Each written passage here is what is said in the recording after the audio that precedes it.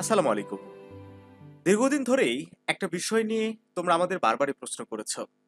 জাতীয় বিশ্ববিদ্যালয়ের honours degree মাস্টার্সের উপবৃত্তির আবেদন কীভাবে করা যায়? সুপ্রিয় শিক্ষার্থী বন্ধুরা, আজকের ভিডিওটিতে এই বিষয়টি নিয়ে আমরা সংক্ষেপে আলোচনা করব। ভিডিও শেষ পর্যন্ত আমাদের সাথেই থাকো। আশা করি এই বিষয়গুলো তোমরা খুব সহজেই বুঝতে পারবে। সুপ্রিয় শিক্ষার্থী বন্ধুরা, একটু মনোযোগ দাও। দেখো এই উপবৃত্তির বিষয়টা হয় কি, যারা প্রকৃত অর্থে যোগ্য, যারা যোগ্য তারাই কিন্তু এই উপবৃত্তি থেকে বঞ্চিত হয়। যারা যোগ্য নয়, তারা পায়। কারণ কি? এইটার একটা মেজর কারণ হচ্ছে যে শিক্ষার্থীরা ক্লাসে উপস্থিত হয় না। ঠিক আছে? মনে করো একটা ডিপার্টমেন্টে দুইশো পঞ্চাশ জন শিক্ষার্থী রয়েছে। তো দুইশো পঞ্চাশ জনের মধ্যে ছেলে মেয়ে সব উভয়ের কথাই আমি বলছি। ধরে নাও গড়ে পঞ্চাশ জন স্টুডেন্ট উপবৃত্তি পাবে, এই সুবিধাটা পাবে।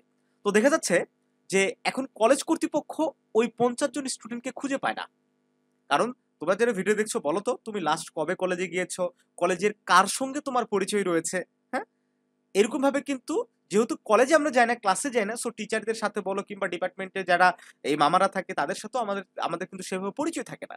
দ্যাটস ওয়াই ডিপার্টমেন্ট প্রধানের যাদের যাদের পরিচিত থাকে বা ওইভাবে তারা যারা মানে যার কাছে প্রাইভেট পড়ে যে টিচারগুলো তারা যে রেফার করে এই স্টুডেন্টগুলো মুসলিম স্টুডেন্টরা কিন্তু এই উপবৃত্তিটা পেয়ে যায়। তো এক্ষেত্রে যারা পায় না, তাদের উচিত হবে কলেজে নিয়মিত একটু যোগাযোগ রাখতে হবে। ঠিক আছে? যোগাযোগ প্লাস একটা নেটওয়ার্কিং যেটাকে বলে একটা টিচারের সাথে সম্পর্ক। আগে থেকে বলে রাখা যায় স্যার, আমি আর্থিকভাবে অসচ্ছল। আমাকে একটু দেখবেন, স্যার। তুমি যখন ভর্তি হয়েছো, তোমার আয় বিবরণী কিন্তু দেওয়া আছে। তোমার বাৎসরিক আয় কত, পিতামাতার মাসিক আয় কত, এটা কিন্তু দেওয়া আছে। তারপরে সেগুলো দেখার মতো তাদের সময় কই? হ্যাঁ? তুমি যদি আগে থেকে তাদেরকে একটু নলেজ দিয়ে রাখো, স্যার, আমি এই ডিপার্টমেন্টের মুখিয়ার স্টুডেন্ট আমি আর্থিকভাবে এরকম ভাবে অসচ্ছল, আমাকে একটু উপবৃত্তি দেওয়ার ব্যবস্থা করবেন। দেখব যে অবশ্যই তোমার হবে। কিংবা তুমি ডিপার্টমেন্ট মামাদেরকে একটু বলে রাখবে। মামাদের বললে খুব একটা লাভ হয় না। তুমি হয়তো কোনো ডিপার্টমেন্টের বিভাগীয় প্রধানকেই বলতে হবে এমন না, তুমি যে কোনো টিচারকে বলে রাখতে পারো। ছেলে মেয়ে উভয়ের উভয়ের ক্ষেত্রে আমি বলছি। হ্যাঁ টিচারকে একটু হয়তো সামনাসামনি বলতে লজ্জা পেলে তুমি ফোনে হয়তো বলতে পারো যে স্যার ম্যাম আমি এরকম এরকম ভাবে আর্থিকভাবে খুবই অসচ্ছল। আমার উপবৃত্তিটা যদি হয়, আমি খুবই উপকৃত হতাম। ঠিক সেম প্রসেসে ডিগ্রি বলো, অনার্স বলো সকলের স্টুডেন্টদের জন্যই কিন্তু এইভাবে তোমরা বলে উপবৃত্তিটা নিতে পারো। অবশ্যই এখানে একটা কথা হচ্ছে যে, ওই যে বারবার যে ইমপ্রুভের যে বিষয়গুলো থাকে, এই ইমপ্রুভের বিষয়টা কিন্তু রাখা যাবে না। ইমপ্রুভ থাকলে কিন্তু ওইভাবে বঞ্চিত মানে উপবৃত্তি থেকে বঞ্চিত হবে। ঠিক আছে? আমার কথা তোমরা বুঝতে পারলে? অ্যাকচুয়ালি অনেক স্টুডেন্ট উপবৃত্তি পায়। ওই যে কেন পায়, তোমরা কেন পাচ্ছ না? কারণ তোমরা কলেজে যাও না টিচারদের সাথে পরিচয় নাই। সো টিচারদের যাদের ওই নেটওয়ার্কের মধ্যে যাদেরকে পরিচিত, যাদেরকে চেনে, তাদেরকে উপবৃত্তি শিক্ষকেরা দিয়ে থাকে, তাদের নামটাই পাঠায়।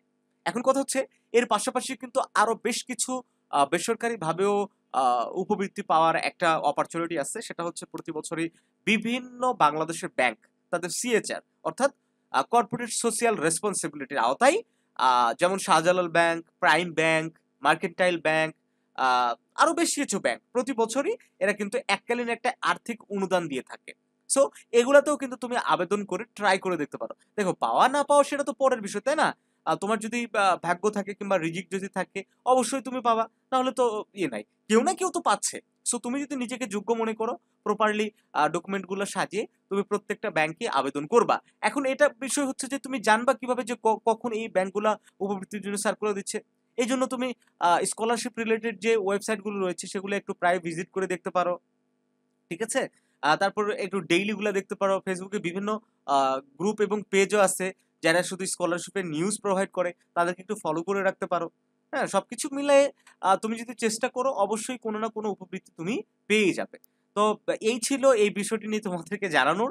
তো আশা করছি তোমরা উপকৃত হয়েছ। যারা যোগ্য অবশ্যই তোমরা টিচারকে অথবা ম্যাডামকে বলে রাখবা অথবা মামাদের বলে রাখবা দেখবা যে পাবে, ঠিক আছে? তো ভালো থাকো সবাই, দেখা হবে নতুন কোনো ভিডিওতে। এই সম্পর্কে যদি তোমাদের আরও কিছু জানার থাকে, অবশ্যই কমেন্ট করে জানাবে। আমরা রিপ্লাই করার অবশ্যই চেষ্টা করব।